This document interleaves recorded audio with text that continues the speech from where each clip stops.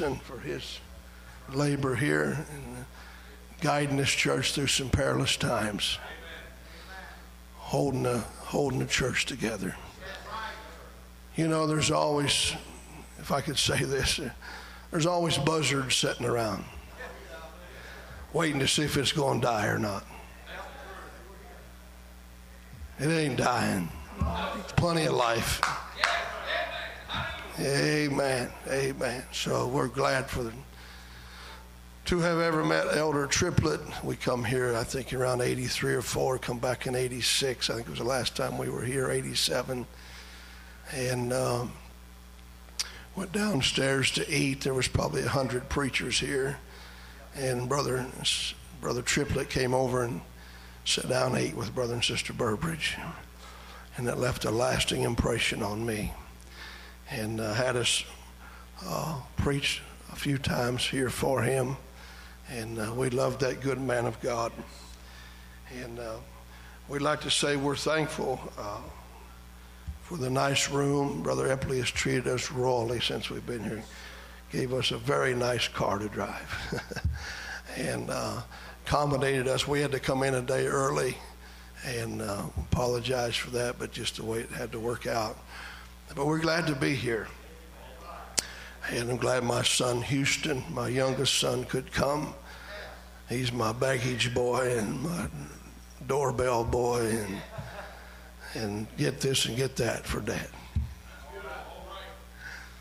Sister Burbridge would like to have been here, but she's been very, very sick, sickest I've seen her in 45 years.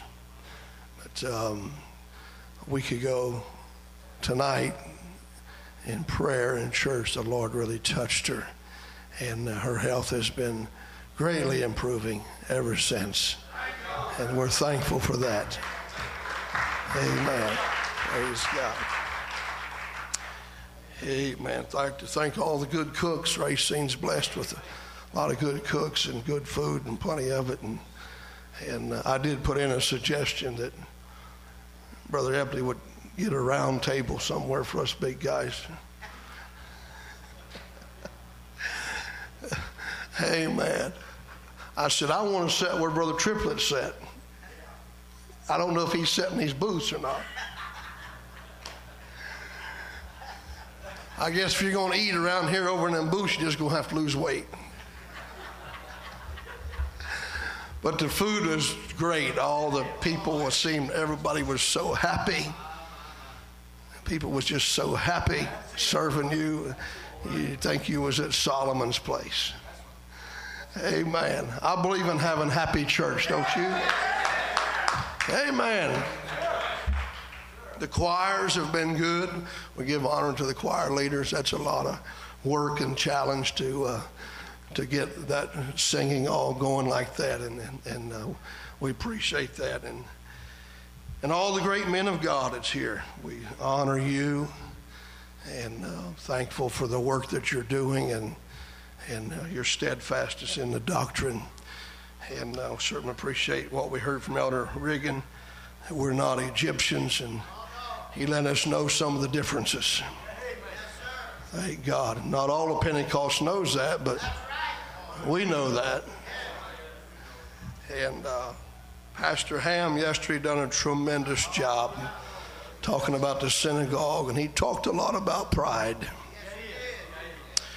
and having more uh, care about the uh, acknowledgement of people than what God thought about us. And um, thought more of the praise of men than the praise of God. Tremendous Bible class. First time I ever met Brother Ham, and uh, I was very impressed with his humbleness. Amen. Uh, Brother Couch last night just um, just obeyed God. Matter of fact, I had a dream last night, and in my dream, Elder Epley several people had called and had said they were healed.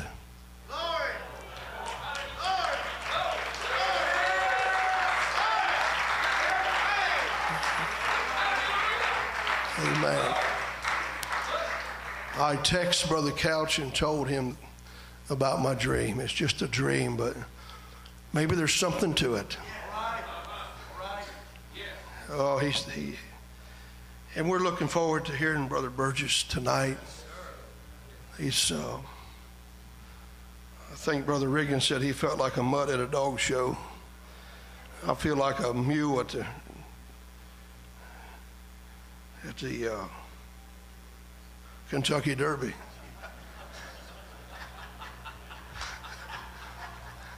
These preachers run fast, and they have done a tremendous job.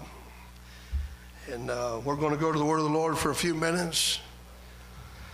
And um, something I'm seeing across the country, I believe it's of the devil, is a lack of response. I believe the devil wants you to come with a problem and leave the same way. Amen. But church to me is um, it's a it's a strong tower. It's a could I say it's a spiritual hospital?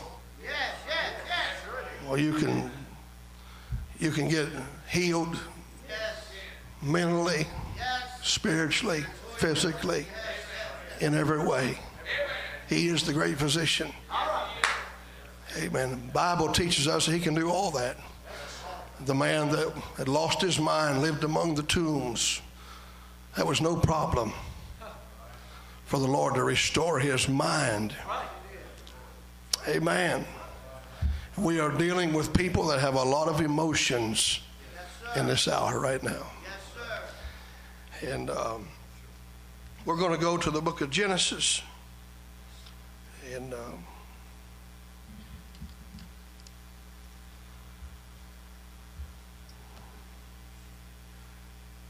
chapter 2.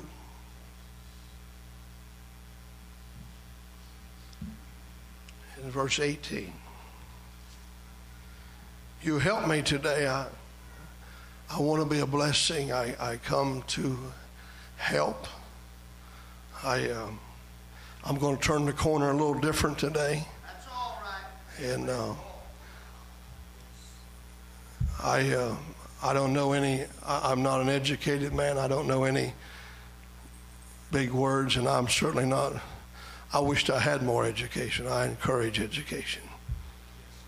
There's nothing wrong with it. You know, there's, and, um, but whatever the Lord does here today, He'll have to do it because it's just not in my ability to to do it, but God wants to help us. I know what I'm going to be preaching about today is here. I know it's here. And the Lord is here to help. And the Lord God said, It is not good that man should be alone. I will make him a helpmate for him. And out of the ground the Lord God formed every beast of the field and every fowl of the air and brought them unto Adam to see.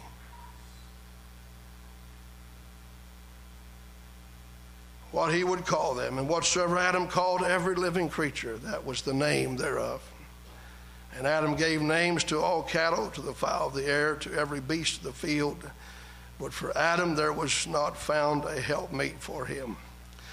And the Lord God caused a deep sleep to fall upon Adam, and he slept. And he took one of his ribs and closed up the flesh instead thereof. And the rib which the Lord God had taken from man made he a woman and brought her unto the man. And Adam said, This is now bone of my bones and flesh of my flesh. She shall be called woman because she was taken out of man. Therefore shall a man leave his father and his mother and shall cleave unto his wife, and they shall be one flesh. And they were both naked, and man and his wife, and were not ashamed. I'll give you a title later on. You can be seated.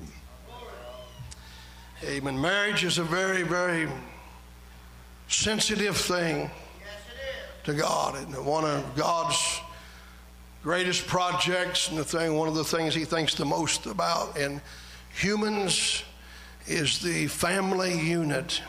That's right. families. The homosexuals are a dying breed.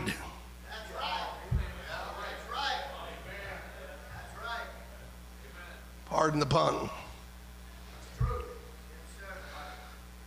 We believe in father, mother, sister, and brother. We believe in family unit. I want to tell you a little, I'm going to be a little transparent about my bringing up. I was raised in a very dysfunctional home, uh, a family that did not work.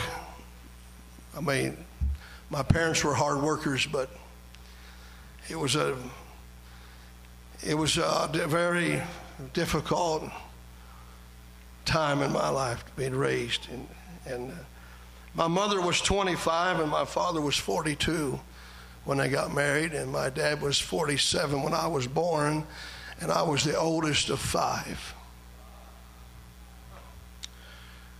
And um, we was raised very poor, didn't know it because everybody around us was poor.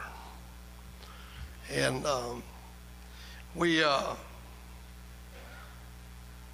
I was often sent to uh, foster parents while my parents worked out of town. And so it was a troubling, confused time for me. It was no structure, no uh, guidance much. My dad was a man that uh, he had a love for God, but we weren't really church people in the home I was raised in, there was very little affection. The word love was not anything used there. Um, way up in my 40s, I began to tell mom and dad that I love you when I talked to them on the phone, but they wouldn't. They, they wouldn't say that back. It was just not a part of their vocabulary. They was, their parents was that way.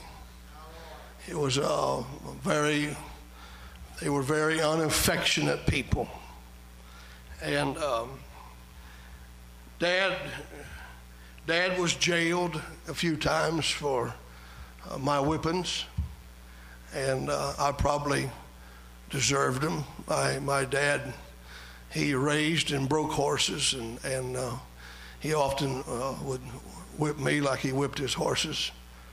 And, um, you know, there's uh, there's hatred that can get in the heart of just a young child and uh, living in these, this type of environment. And uh, my parents separated three different times. And uh, one time while my mother, my father was at work, he had raised from one cow to a small herd of Hereford cattle and it worked very hard to have that. And while he was at work, my mother called a uh, cattle buyer and came and loaded every cow that my dad had and uh, called a moving company, came and loaded every, nearly every stick of furniture we had. When my dad came home, he had nothing. He had no wife, no children. He had no, did not know where we were. He had no furniture in the house. He had all his cattle. Everything was gone. And uh, we as children watched this happen. And uh, kids love their dad. And kids love their mother. And they get caught in this transition of back and forth. And, uh, but my dad, I could never really uh, understand, but uh, he would come, he come and, and got us back. And it was never an ongoing conversation of what had happened. It was never brought up. My dad just started over again. And uh, keeping the family unit together was important to him. And uh, so I left home at the age of 16 years old and got a job working midnights in a gas station, finished high school. And uh, a preacher, an apostolic preacher, took me in when I was just a boy, gave me a place to stay. I wasn't in church, and uh, some of you would know him if I mentioned his name. But uh, along the way, along my journey, God has had his hand in my life, taking care of me here and there. And um, we, uh, Sister Burbridge and I got married at the age of 18. Uh, this is, we preach against what happened to me, but first time I was ever to an apostolic church, I was 14 years old. And Sister Burbridge come walking in the classroom, a young 13 year old girl. And I said to myself, there's the girl for me. And, uh, and uh, I got the Holy Ghost when I was 14, but I never went to church or lived for God till I was 25. God kept us together through all those years. Five years we were faithful. Only girlfriend I ever had. I married her two days after she turned 18. We're getting ready to celebrate our 40th wedding anniversary. Praise God. We're living in a different hour. When a lot of people want to play the field, they they have affections for this one for a while, and then they jump around, and it's, it's all over the place. That's there's no structure to that. There's no foundation in that. That's that's that probably just lust. Marriage will not solve. It is not the answer to lust. Amen. And so we've been married for a long time. And I married a good girl. She already knew how to cook, clean. Children come by. She knew how to take good care of our boys. And I'm my daughter. We have six grandchildren. And um, so the Bible said, Whoso findeth a wife findeth a good thing and obtaineth favor of the Lord. And I feel like I have been well favored by my companion. But uh, what I talked about, my parents were not in church, but we are. We are. We're blood bought, baptized in Jesus' name, filled with the Holy Ghost. You have a Holy Ghost filled companion, you have an advantage in this life. You have a great advantage. You have a gift from God. Amen. And uh, my parents, both later on in life, was baptized, received the Holy Ghost. My father received the Holy Ghost when he was 80. I wish he'd have got it earlier. Been a lot easier on me. He lived to be 97.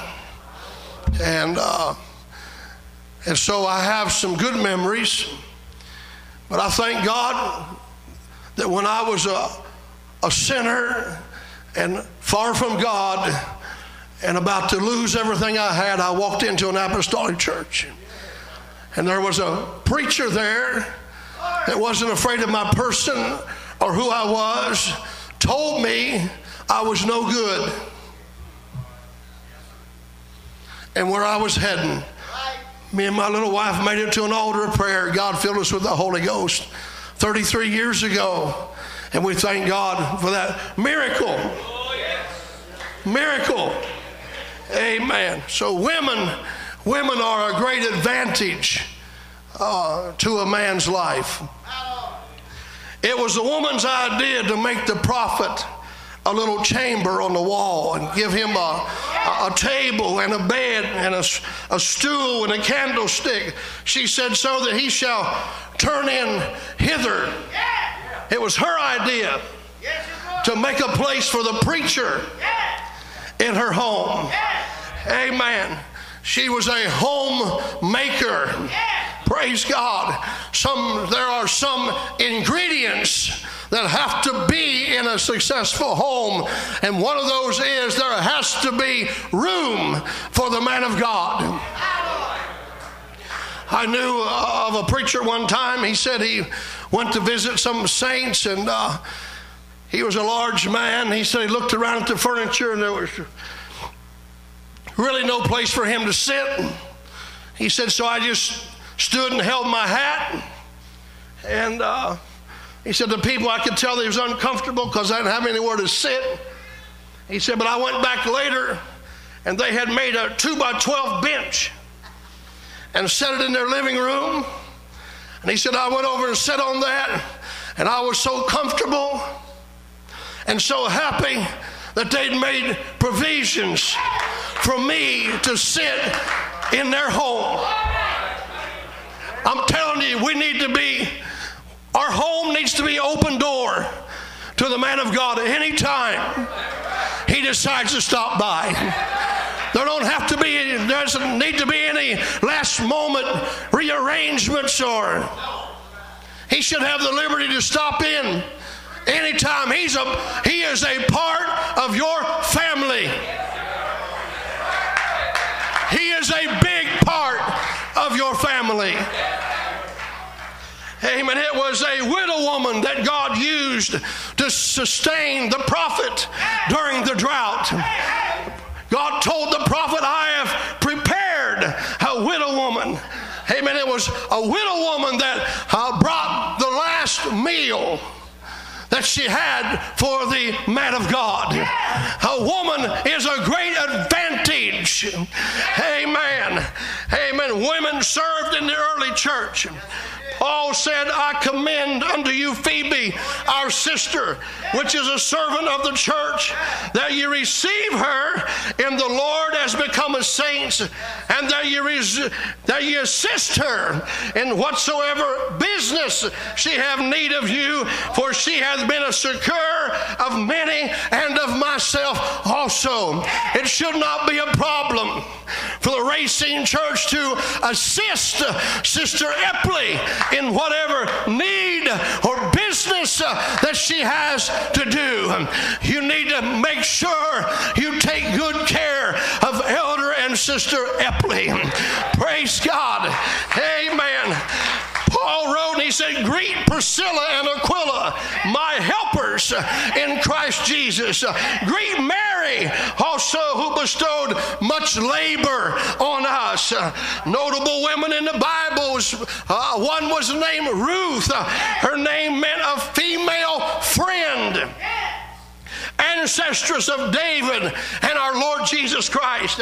Hannah means favor, the mother of Samuel. Abigail means my father rejoices, uh, one of David's chosen wives. Praise God. Esther, chosen to be queen chosen by the king. Mary Magdalene, it means fortress delivered from seven demons.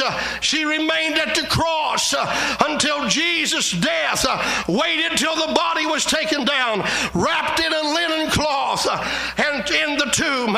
Elizabeth, Martha, Dorcas, Lydia, of course, Mary, the mother of Jesus. Uh, women were the first at the cross. Uh, amen. Were the last at the cross and the first at the tomb. I don't want you to forget all those good things I said about women. Praise God. Amen. They are often the ones that start the prayer meetings. I don't know who this sister was was praying over here, but I commended her. I said, that's the kind of praying I believe in. That's the kind of praying that we have in Mineral Ridge going on. Not here to talk about my church, but I'm telling you, women is often the ones uh, that start prayer meetings. Uh, I would to God that. Uh, I'm telling you, if prayer is still important, women, if you're prayer warriors,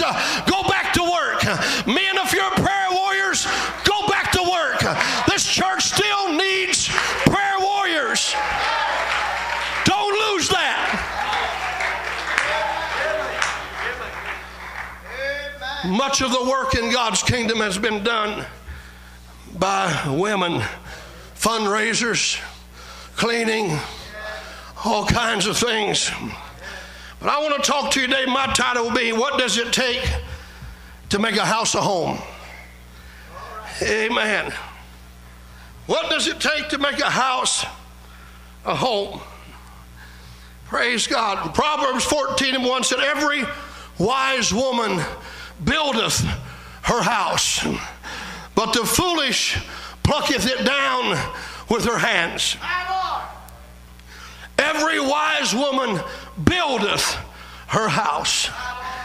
A build a house, Webster said, is a building for human beings to live in. It is a building where a group of people live as a unit. That's what a house is.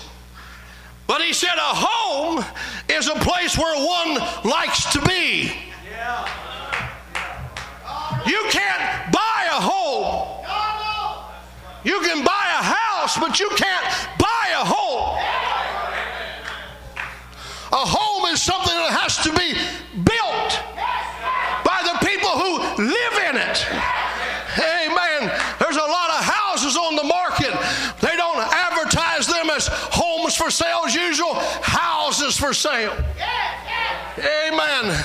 And so it is also a restful, congenial place. Also means a comfortable, a place to be at ease, a home. I wish I was raised in a home,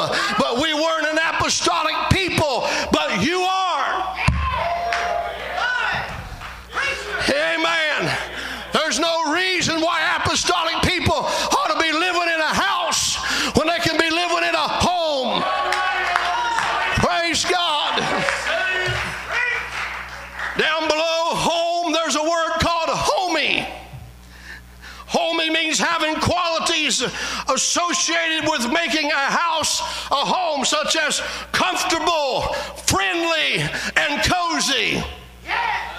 That's a home.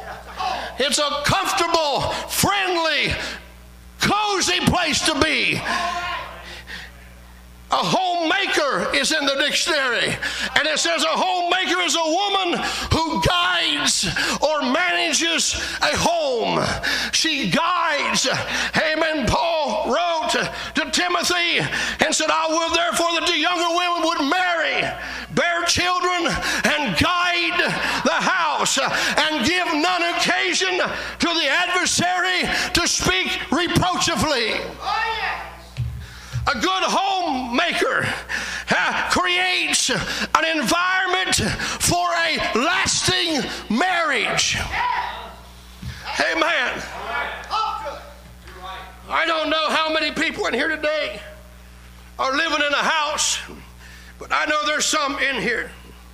But I'm going to tell you one thing that house can become a home with a good man of God behind the pulpit teaching you how to love one another, respect one another. There is no reason why our dwellings should not be homes and not just a place for a group of people and a, un- a unit of people, just a, just a dry,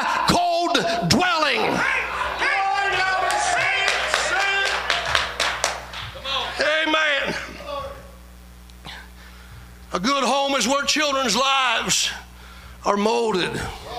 Children's lives are often made or broken, become successful or ruined in that home. Praise God. Should be a place of balance and peace and love and harmony in that home. Praise God. A home is a place where submission and order are not bad words. Right, all right.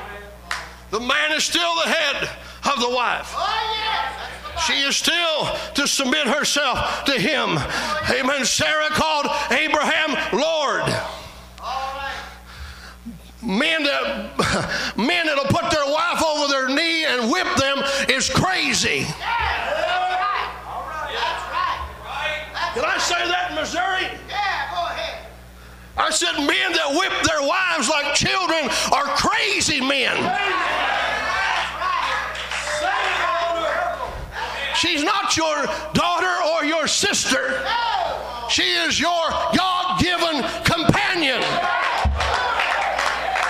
Someone that has the Holy Ghost. Amen.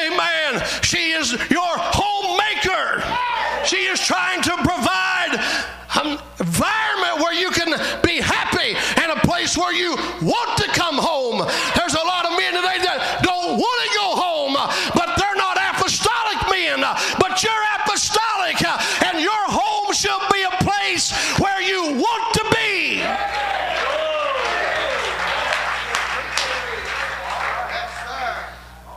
Man that have found a wife, have found a good thing, and obtained favor of the Lord.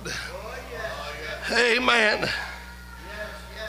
Amen. A man that has a good wife, he receives better things in life than the ones that don't.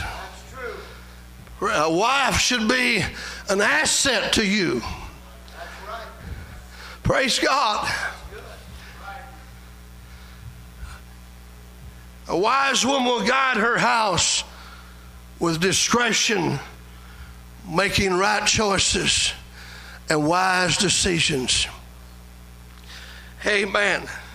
She buildeth her house to promote the best for her husband. Shame on a woman that thinks other men are better than her husband. All right. All right. Shame on a woman to brag on another man more than she would her own husband. That's right. He comes home with calluses on his hands and he's put a hard day's work in. Amen. You ought to greet him at the door with a big smile. Let him know, honey, you're home now. The day's done. I want you to be comfortable. The reason some men don't want to go home is because they don't have anything good to go home for.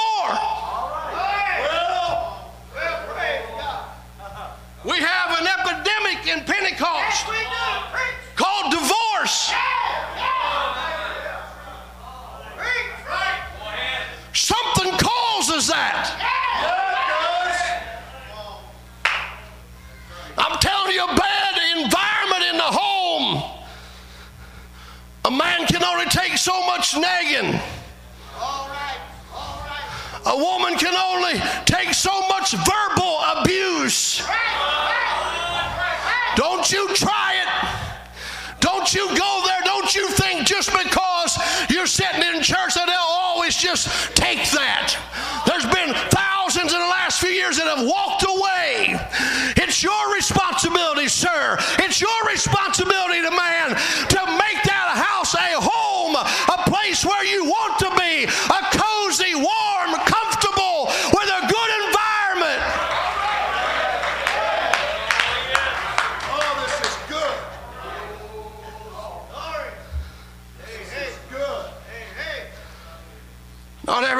a divorce just because they met somebody out of lust or whatever. There's, it's a shame. But there's probably a lot of abuse that goes on in apostolic homes. Your home is not to be a war zone. I might just get away from my notes here. I've seen a lot of people come to church with their best face on and their best foot forward. But behind closed doors, they're not that way. They got problems. I'm telling you, I know the problem solver. I'm telling you that one of the devil's most best set keeper secrets is don't tell nobody on me. My Lord. My Lord. Don't tell nobody, amen, how much disturbance and disruption I've put in your marriage.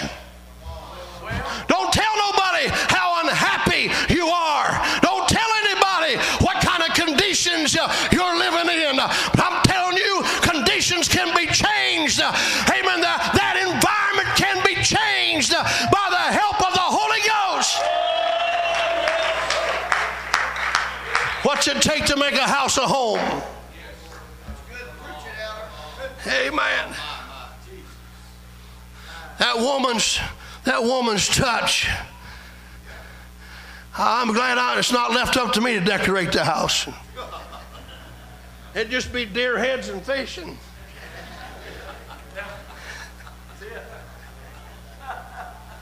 Our Lord. Sister Burbridge got that special touch. Just knows where to put everything. And you know, the couch don't it gets moved around pretty often in the chairs and all. everything's always moving around and changing. And that's a woman that has a desire to keep that house a home. Praise God. Always cleaning and got something good cooking. Got some uh, good smelling fragrance going on in the house. It don't smell like a roadside rest. Well, praise the Lord. I went to pray for a man one time, and uh, he was in bed with his. He was a mechanic in bed with his clothes on. He was greased from head to toe, but he's under the covers. There was cats on the table. Cats under the table. It was a filthy mess. I'm telling you, that does not qualify. That does not Bible qualify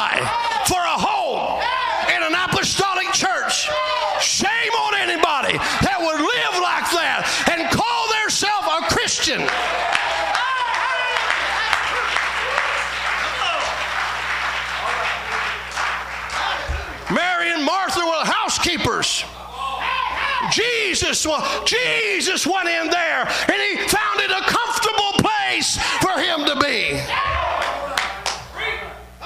Well, pray. I hope I don't get this lopsided today because it's easy to do.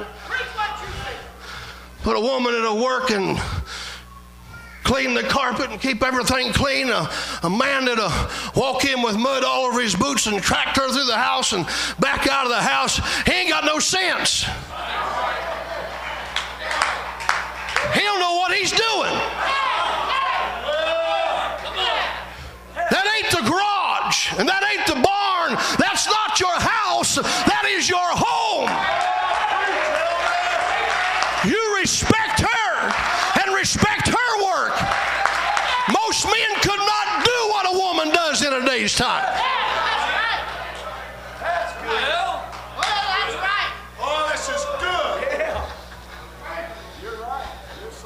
My mother, we had no inside plumbing at all. Five kids, we was raised in a 20 by 20 house. That's pretty small. My mother had my brother John, and 11 months later, she had a set of twins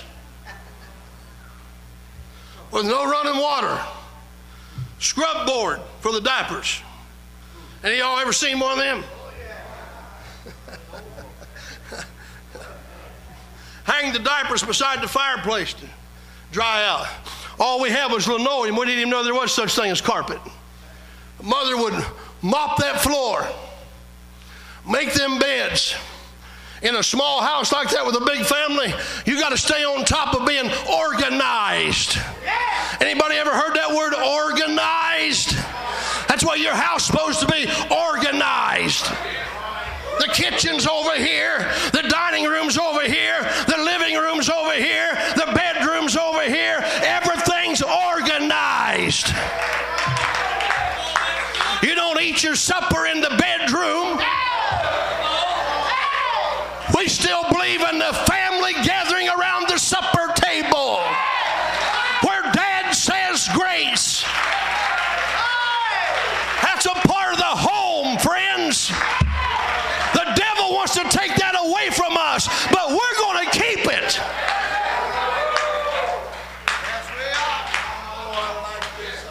Wife, wife fix a big roast dinner with all the trimmings, and you, you call and say, you're going to be late. You got a you got a Whopper at Burger King.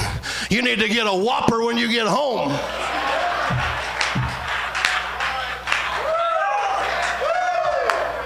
Some of you are looking at me like, what's he going to say next? He's got me pinned right now.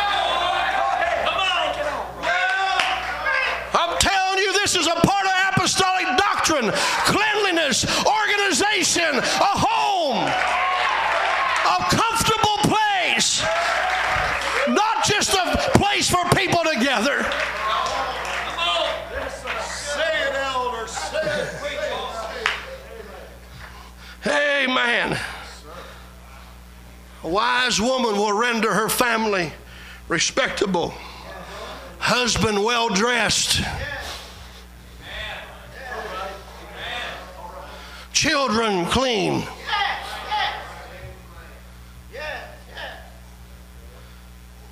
You see a man, you see a man with a shirt on, it looks like he just got out of the bottom of a garbage can. That reflects on her. Hey, you represent your church everywhere you go. Praise God. She ought to, we're getting ready to go to church. She ought to take a look at him. Make sure he got his shirt buttoned up straight. And as you get older, she's got to really look at you. Make sure you ain't got enough hair in your ears to grow potatoes.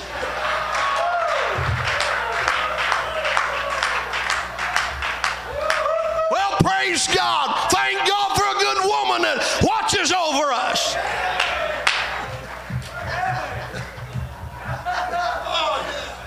I'm going to tell you what. I'm putting off the days as long as I can where you get the sweatpants pulled up to here and you got the Velcro tennis shoes on and you ain't got no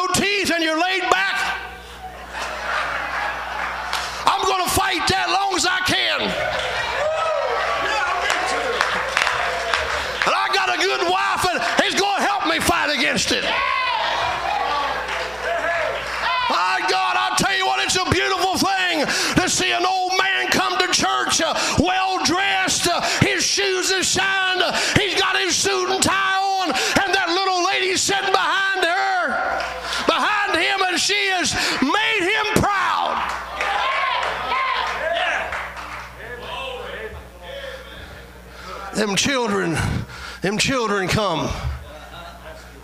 Got them little suits and ties on. Got them pretty little dresses on. Did you see them kids up here last night? My Lord, Brother. Wasn't they pretty? Somebody taking good care of them. But I'll tell you what, an apostolic mama ain't gonna let her babies go around with snot all the way down under their chins. Their hair ain't been brushed out for a week. They got dirt under their fingernails and toenails. Well, praise God. That ain't that ain't apostolic.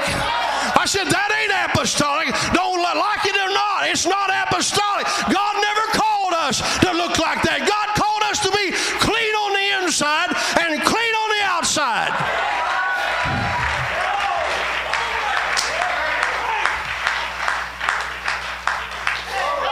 A while back, they was having a pizza party somewhere, and one of the kids found a hair in the pizza. They said, they said, oh, there's a hair in this pizza. Another little kid across the room said, give it to me, I'll eat it. We're country.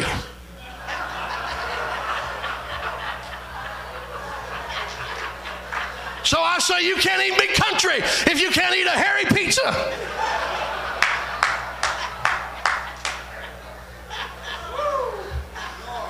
We don't do that no more. We're apostolic people. We, we, we're not the ones that ride on the little yellow bus.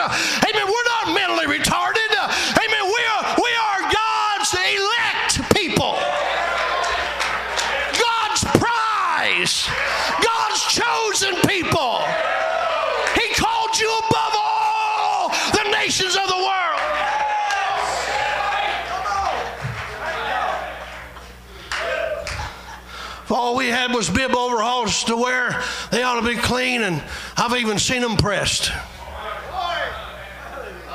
Praise the Lord. You be thankful for what you got. God will give you something better. Amen. Praise God. A wise woman builds up her house, builds up her house. Little by little through the years, she accumulates things and saves things and takes care of things and build, building that house up, making it a home.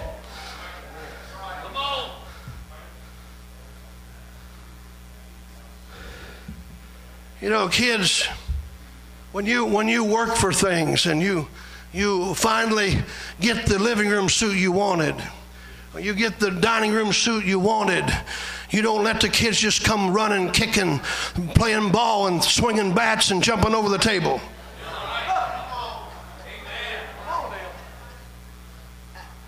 No, sir. You work for that. That's right.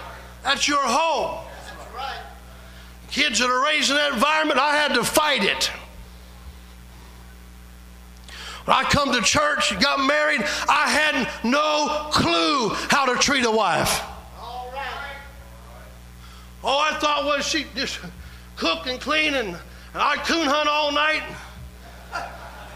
fish. But when I got in an apostolic church, somebody taught me you're not an Egyptian. You don't live like the world lives. You're not a heathen.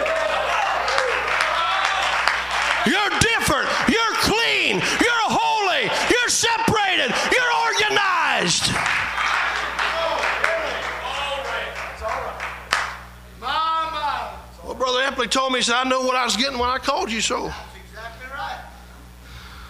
But I'm telling you, God gave me an, up, an upgrade when I come into church. That's right. That's right. That's right. Oh, Lord, we were so. It's bad. But that woman, she's a, she is a wise money manager. All right. All right. Some women can haul it out the back door on a teaspoon quicker than a man can bring it through the front door on a coal shovel.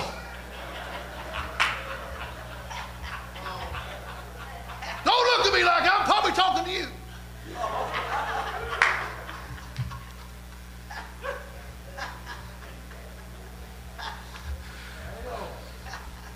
That is not, his paycheck is not your allowance, it is your living. Tithing comes out of that first, offerings come out second. You pay your bills, you buy your food, your clothing. Pleasure and luxuries are at the bottom of the list, my friends.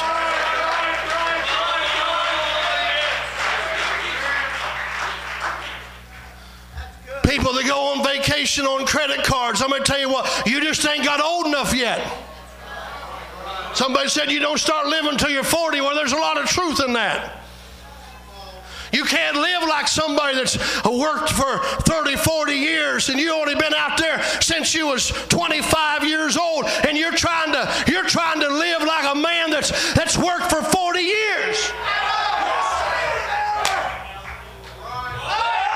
Come on now. You can forget that mess trying to keep up with somebody else. I'm telling you, a wise money manager now, and that man,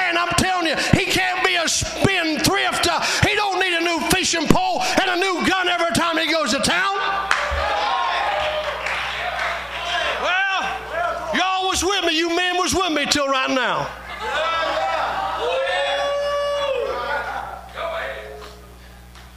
When you're behind on your bills, you have a priority.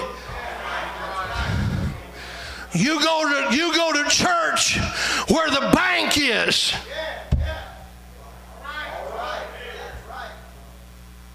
Where you pay your bills. Man that won't pay his bills, he ain't got, he not even qualified to be in the pulpit. That's the truth. That's right. We lead by example. That's right, Mom. That's right. If your pastor sets you down because you can't manage your money and you spend it on pleasures instead of on your bills, and he sets you down from whatever whatever position you're in, ain't nobody's fault but yours. Don't blame him. You disqualified yourself. But there ain't no excuse for that in an apostolic church. Uh, amen. Where God has blessed you.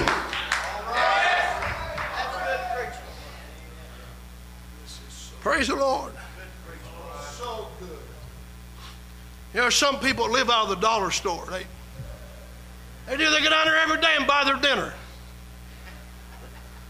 or they go they go eat out every day. Figure that up at the end of the month. My wife, since she was we was married, she she makes a, a menu Monday through Sunday. I can look on the refrigerator and tell you what we're going to have. And she goes to the she goes to the grocery store and buys that stuff for them meals. And if I get in her cheese for tacos, I'm in trouble.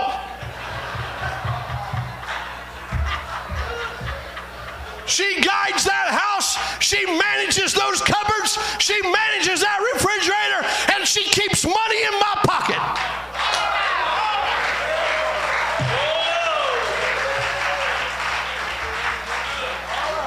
People spend four or five hundred dollars a month eating out. You're going to have to be awful wealthy to do that, I think. I would. I don't know that I'd do that if I was wealthy. Well, shout now, somebody. This will help you. Praise the Lord. Who can find a virtuous woman? For her price is far above rubies. How much is she worth? You can't put a price on it. And you know what? When them grandbabies comes to grandma's house, she's boss. They don't just get in the refrigerator and drag stuff out.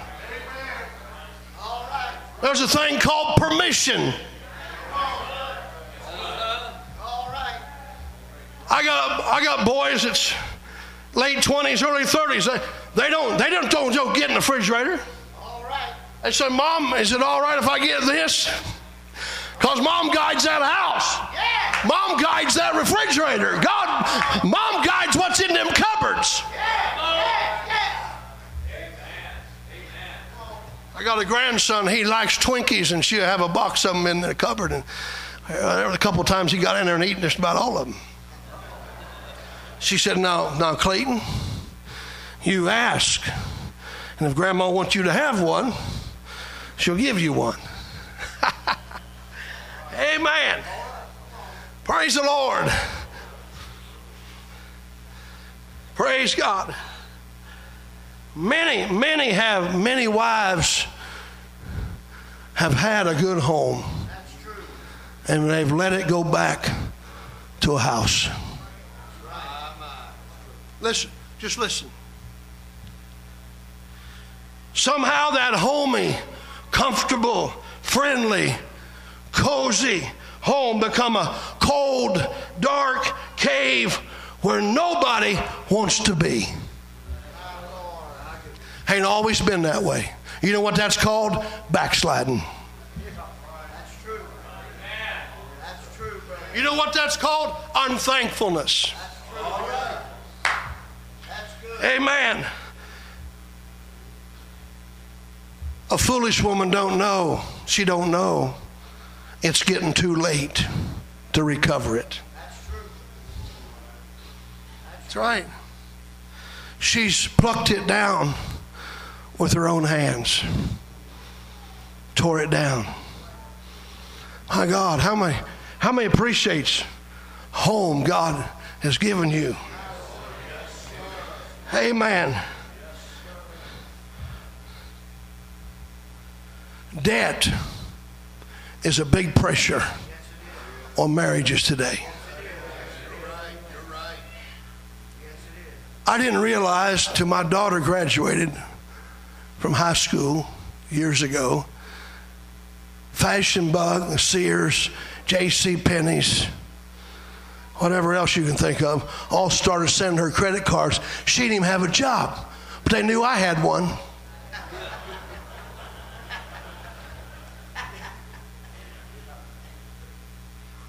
If you can't pay that credit, this just Elder Epley can change anything he wants to. I'm leaving tomorrow.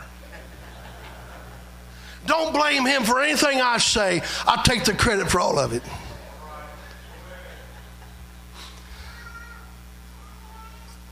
A credit card is a good thing for a paper trail. But if you can't pay it off at the end of each month, you're probably better off just to go cash. Just letting it go a little bit each month. For in two or three years, you'll be so far in debt and have nothing to show for it.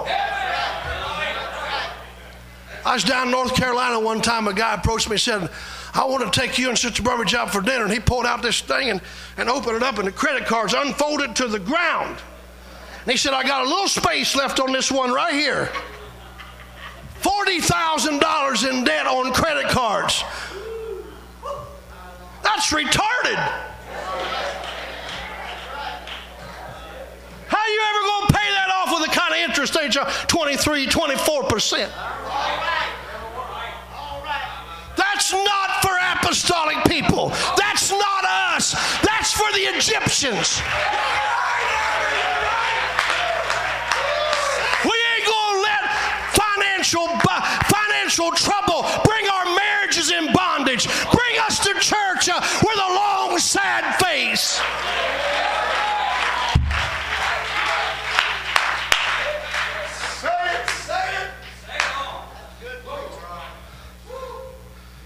You don't think it affects people? It does affect them. Affects their prayer life, affects the way they worship, affects their love for everybody.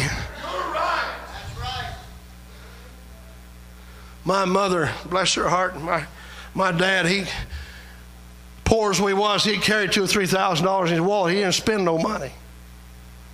She'd get up in the middle of the night and steal out of his wallet to buy us kids clothes, you know, and things we needed somehow she got credit from J.C. Penney, and she started buying clothes and things we needed. Well, she didn't have no way to. She she couldn't steal it fast enough to pay for it. Back then we had what they called bill collectors, and they'd come and knock on the door every day. She'd hide us kids under the, under the bed and say, Be real quiet till he leaves.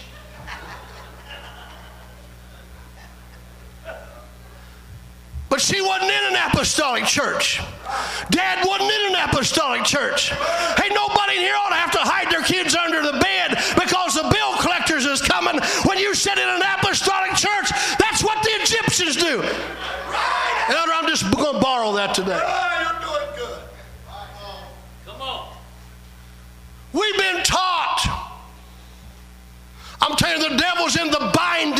is.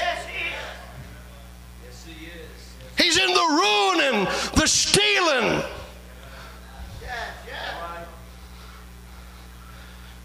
He'll say, Now you can't afford to pay your tithes. You used to give this much in the offering, but, well, you got bills now.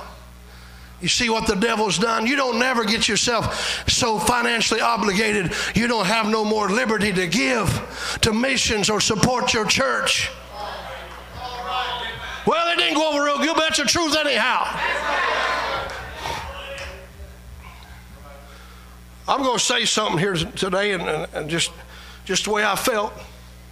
Brother Epley said the missionary offering Wednesday night was $1,400. I thought that was sad.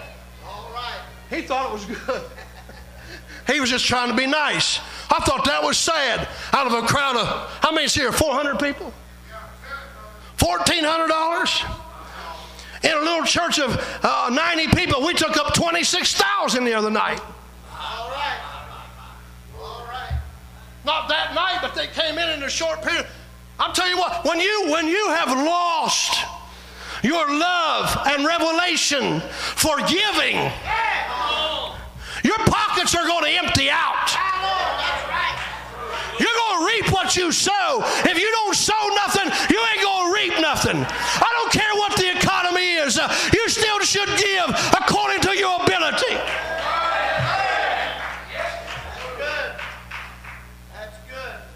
Well, I didn't have to say that, but it was on my heart. Praise God. Folks, I'll tell you what, they give a dollar and five dollars in the offering 20 years ago, 30 years ago. Amen. You can't outgive God. You know that, don't you? You can't outgive God. God, God will bring it back to you, pressed down, shaken together, and running over. Given still right. Given it shall be given. He said, I'll make you the head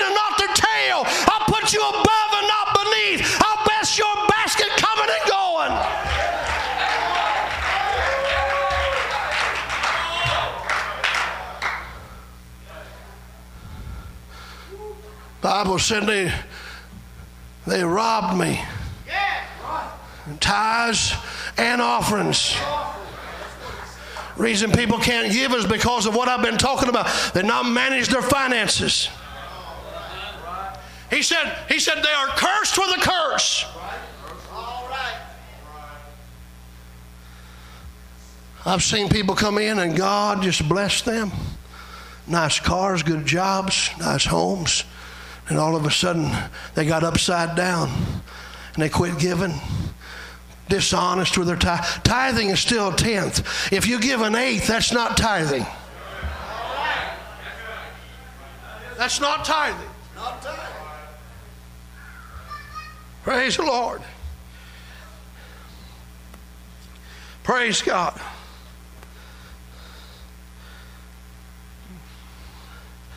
Praise the Lord. Lift your hands and love the Lord for just a minute. Thank God.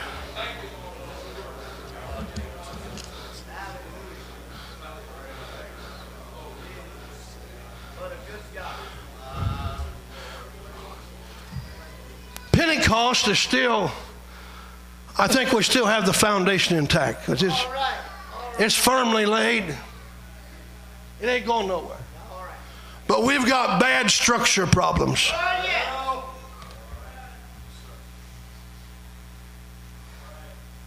I was at a friend of mine's house one time and he said, You see that house over there? And I said, Yeah. And he said, They put the foundation in and they, they had it all stick framed all the way up. And the zoning inspector come and said, You know, you, you have put, I'm just saying that I didn't know all the details, but you, you have put two by eights where there should have been two by tens. You've put two by tens where there should have been two by twelves. We got a structure problem here. This is not going to hold this house. Disassemble it. That man made them disassemble a whole house. No, there was no siding on just the structure. And build it over.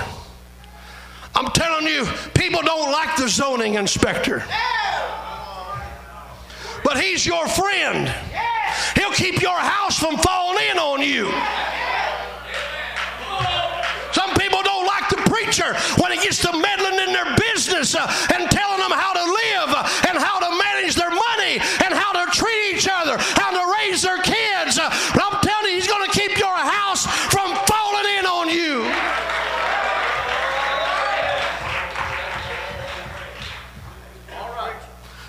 said, Why call you me Lord, Lord, and do not the things which I say? A wise man dig deep and lay his house on a rock. But the foolish man build his on the sand. And when the storm come, and it will come. Great was the fall of that house that was built on the sand. People that sit and listen to good apostolic preaching, but they never apply it to themselves. They never take it out them doors and do anything with it. Your house will come to ruin. You are right.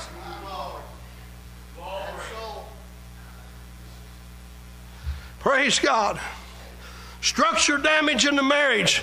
Lawyers took a survey and they said 80% of divorces are caused from Facebook. I know I'm going to, I know I'm getting in the middle of something here right now, but if them Egyptian lawyers can tell us what's wrong with our church, I guess we need to listen to them.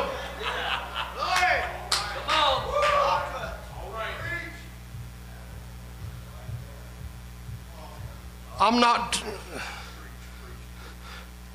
technically savvy. I have no interest in it. And that's a blessing to me. And I know everybody from Santa Claus to the greatest prophet is on there.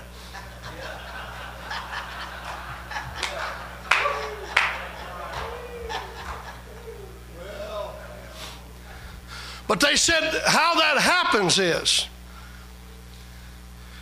you know, I'm going to tell you something. I, I didn't know this till I got here, but when you're getting close to 60, you still need all the help you can get. It don't get easier when you get older. In fact, I hate old age.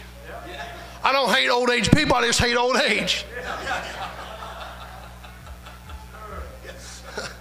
I better clarify that. I don't like old age. I hope to live long enough to get there. But I'm getting there. But I, I, I found out. I asked a man one time in our church, he was getting close to 80 years old. He had been a Navy officer in the submarines.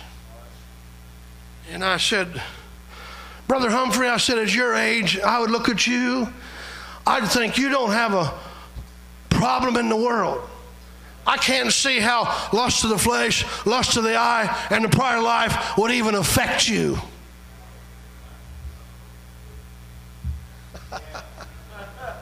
well, hello. It still does. That's all right. Come on. I said, Brother Humphrey, being a naval officer, I said, What's your biggest battle? He surprised me. He said, Submission. Submission. I never would have dreamed it.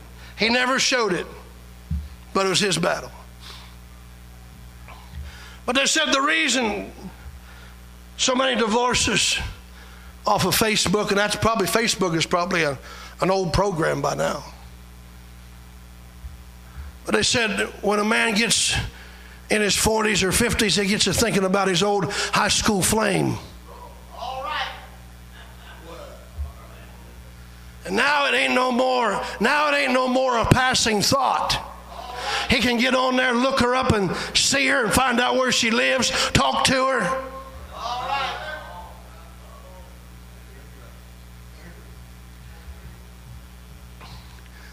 Activity on social networking with the opposite sex.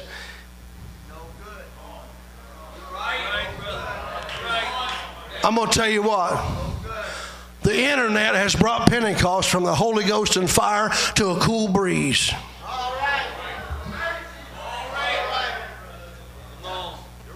We use it, we have it. You always got some idiot that's out there flirting around with pornography. I'm telling you what, you, you, you play with pornography, you're an adulterer.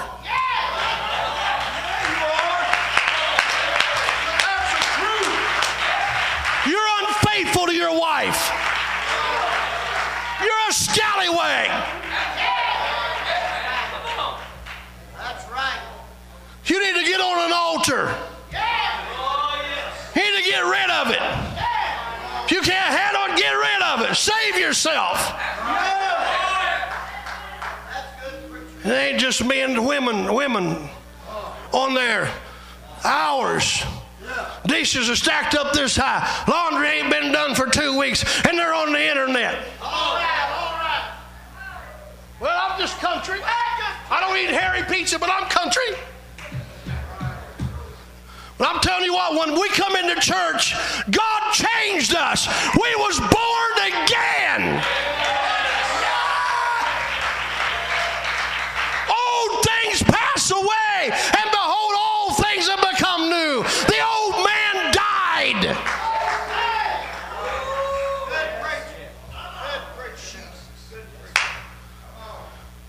Thank God pornography was one thing I was never involved in, even in the world. I respected my wife. All right. All right. All right. I'm telling you, there's a strong spirit behind that. Yes, there is. You can't even pick up a J.C. Penney's, a man can't even pick up a J.C. Penney's catalog and look through it now. That's right. That's right. That's right. Everything's naked. That ain't us. No, no.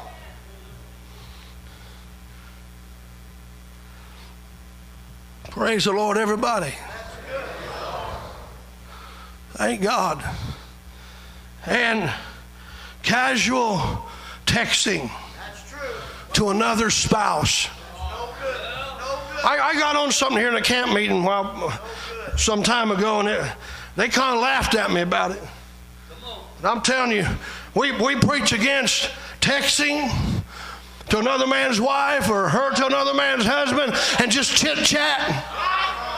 We preach against that. Well, they got to playing games back and forth.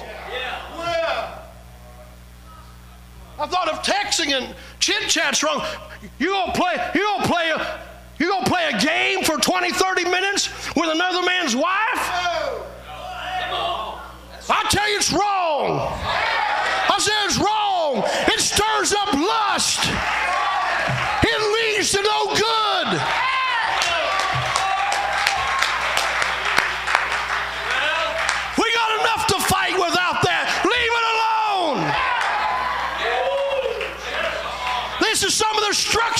Problems we have. This is why we're having such a challenge with divorce today. Women used to be modest in clothing and modest in spirit.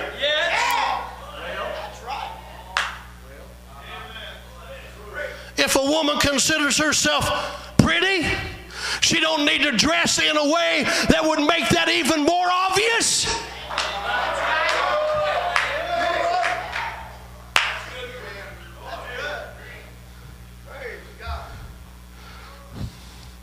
I can't stand these knee knocking hooker heels, knee, knee knocking skirts. And there's a spirit goes with that. And uh, wa- waddling all, all the way down down the aisle. You can see every hump and bump. Look like two cats in a gunny sack.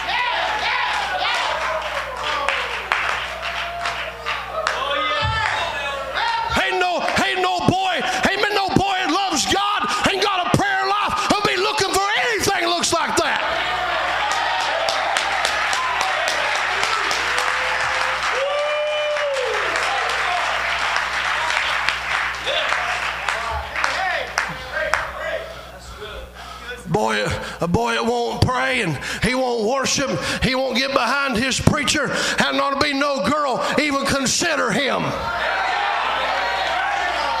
He don't pray before he gets married. He won't pray after he's married. This is some of the structure damage uh, we're dealing with in this generation. There's a generation that curses their father and doth not bless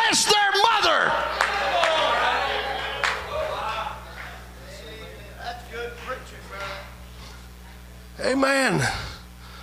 Praise the Lord.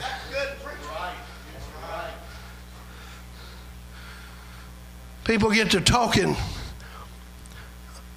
I preach we need to fellowship, but not a lot. That's right. That's true. That's so. And especially with the same couples. That's true. All right. That's, You get to talking too loosely. You get to talking about private things that should never be talked about. A woman or a man should never discuss their private life with somebody else.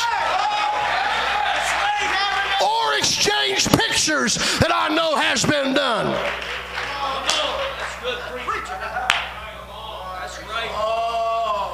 That's low down. That's dirty. That's the Egyptians. That's not us. We're apostolic people. You can't get with me, but you want me to shout with you.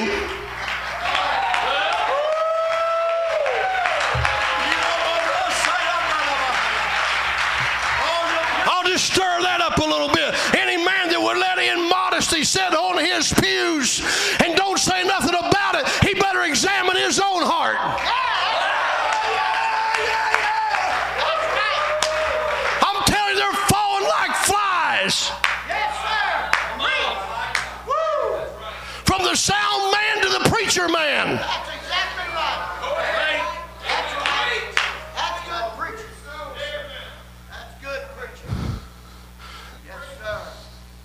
Praise the Lord. Any woman that a man would make a little remark to her, she certainly has our permission to put him in his place. She put him in his place, he won't be back. Hallelujah. This is our church. This is our life. This is how we live. If you want to live like that, go back to the bar where you come from. Hey, hey. That's good preaching. Praise the Lord. Oh, thank the Lord. Lift your hands and love the Lord. I'm. Thank you, Lord.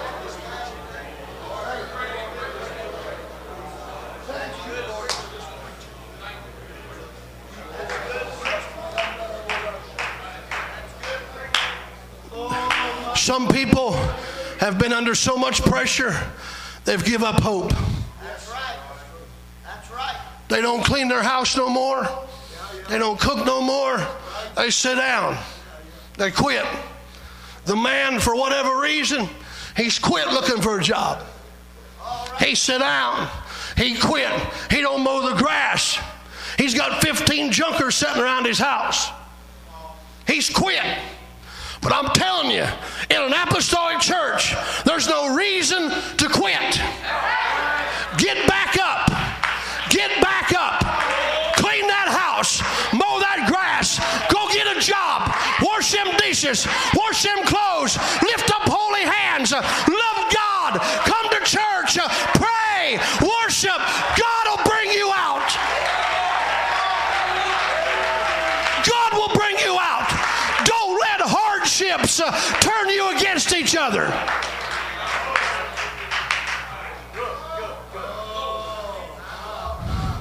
Don't let the devil do it to you. You get behind closed doors and you start fussing and fighting. I told my church, I said, you get in an argument, you do not call each other animal names. All right.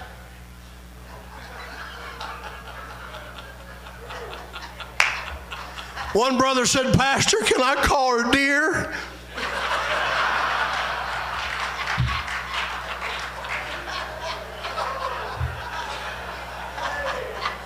You can call her deer, but don't you call her goat.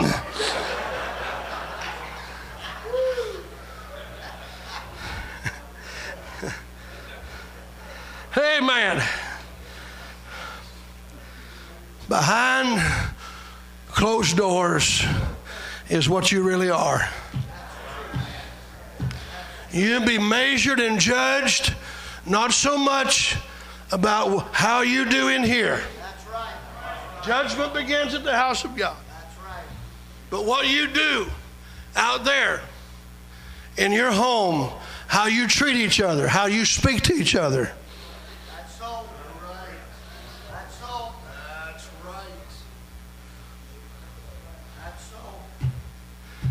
how you love your children. Yes, sir. Praise God.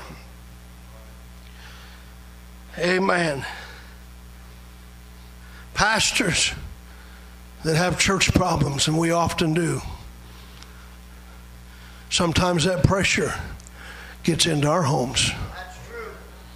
That's. It's not just the saints that get, get unruly, get too loud, get agitated, irritated, start saying things you shouldn't say. We're humans too. Somewhere we got to put the brakes on it. She didn't cause that church.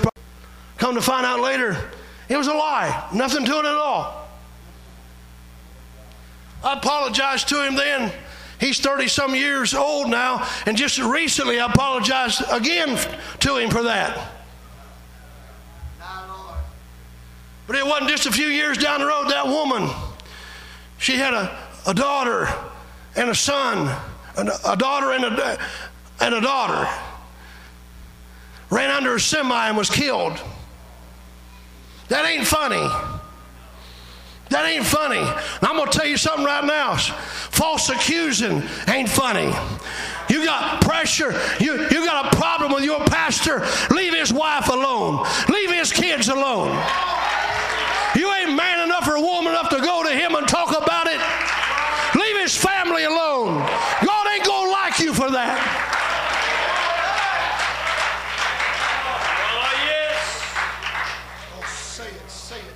Oh, Been a lot of preachers' wives have sit down and nearly quit. And nearly begging their husband to quit pastoring. I got news for the devil. We ain't quitting. And mama's going to get back up. Oh, yeah. God's going to help us. This is His church. Our people, thank God, they accommodate us, help us in every way. They go above and beyond what would be required of them to take good care of Brother and Sister Burbridge. I hope you're doing the same for your pastor, whoever he is. Praise God. You might be in prison or in the graveyard or be divorced if it wasn't for the good man of God. Marriage, from what I can read in the Bible, it's one wife. One wife for life unless she dies. That's not a popular message anymore. That's a dying message. That's But I'm telling you how serious it is. Better find some, you know, we don't believe in pen pal marriages. No. We don't believe in finding somebody through texting. We believe in meeting that person, talking to that person, talking to their family, talking to that pastor. We're going talk it through. We're going to ask questions. That's good.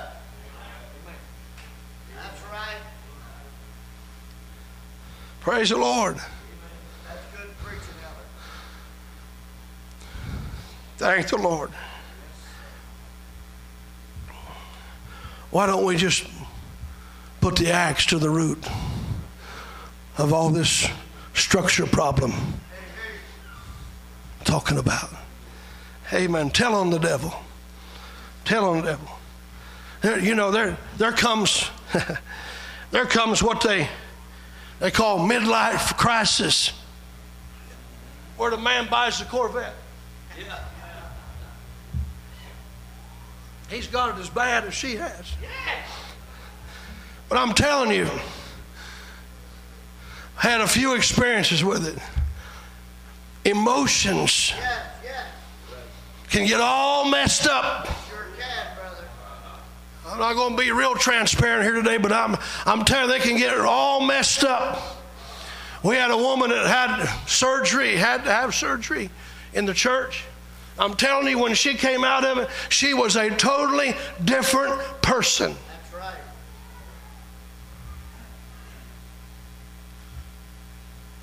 She wanted to hold her hand, hold hands with her husband all the time. Sit in church, hold him. He couldn't get out of her sight.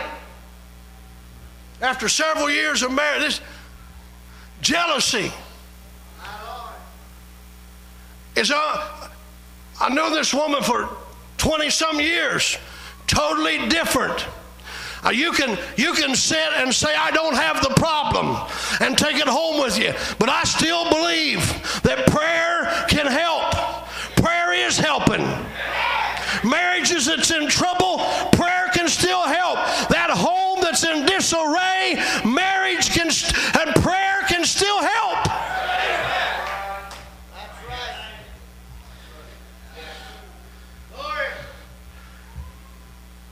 Oh, thank God. If that home has become a house, turn it around. Stop it. Let's stand, lift our hands, the musicians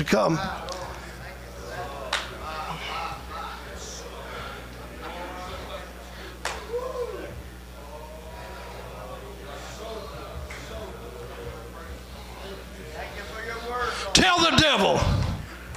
I'm not going back to that cold, dark cave. Honey, we're going back to our home. There might need to be some repenting and apologizing. I'm losing a lot of folks right now. They're going out the door faster than they're coming in.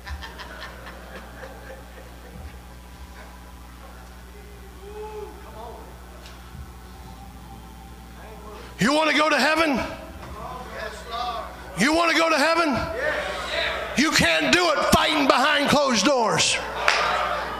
You can't do it hating one another. You can't do it with bitterness and strife and envy in your hearts, in your marriages, in your home. You ain't going. I said, You ain't going. Oh, yes. I'll say, Nobody knows about this, sweetie, but me and you. God knows about it. God told on it today. We're apostolic people. We've been born again. We got a new life, a new beginning. The devil, if the devil has taken your home and turned it into a house, why don't you turn it back around and do something about it today?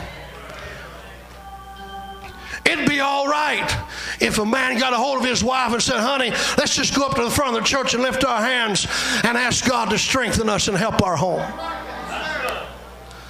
Don't worry about that old pride. Ain't nobody here but us. This is uh, this is what we do. This is where we come for help. We don't go to the psychiatrist. We don't go to the marriage counselors. We come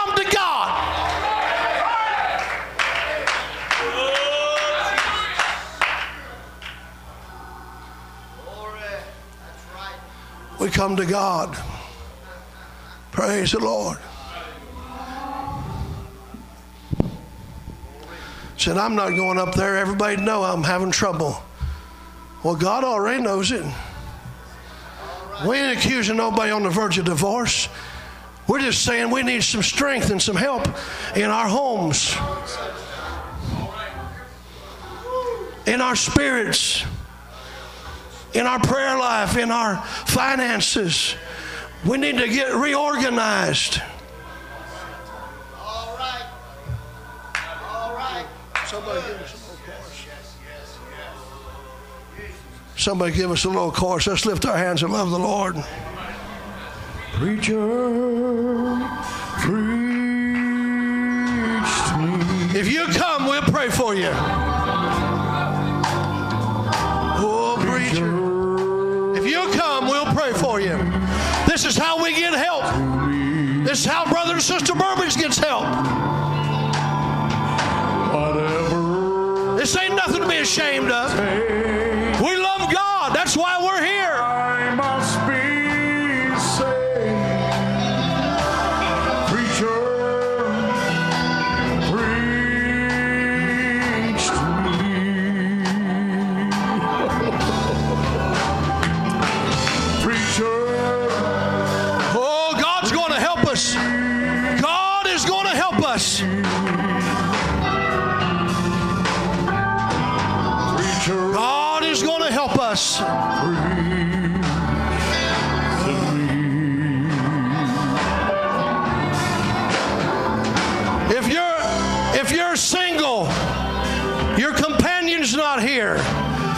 And you need help, why don't you come?